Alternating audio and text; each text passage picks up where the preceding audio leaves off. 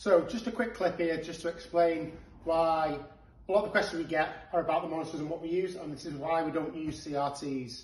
Now CRTs, for those who don't know, it's your old big back monitors that you used to get in your old office monitors, your old TVs and at the moment everything has changed over to flat panels, LCDs and the likes. Now purists will say this is what should be in an arcade machine and I get it. I agree to a large extent but our machines are meant for general domestic use. If I pop one of these in one of our full-size machines, one, the machine won't be deep enough, it won't be big enough, so we need a much bigger machine.